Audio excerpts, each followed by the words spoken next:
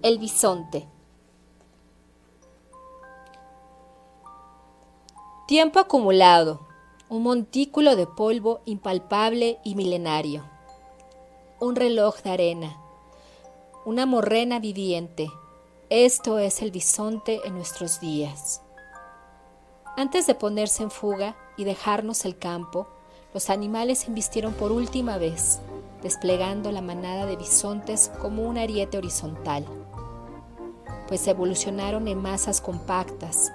Parecían modificaciones de la corteza terrestre con ese aire individual de pequeñas montañas, o una tempestad al ras del suelo por su aspecto de nubarrones.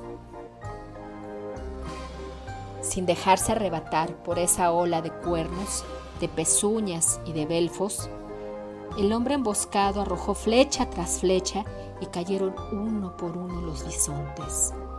Un día se vieron pocos y se refugiaron en el último redil cuaternario. Con ellos se firmó el pacto de paz que fundó nuestro imperio.